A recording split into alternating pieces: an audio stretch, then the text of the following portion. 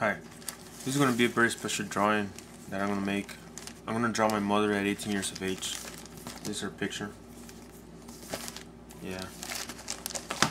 Although when I was drawing I forgot to this thing off. I forgot to take it off so I didn't get the part where I was starting it. I just got the part where I was starting to shade and stuff like that. I'm sorry for that but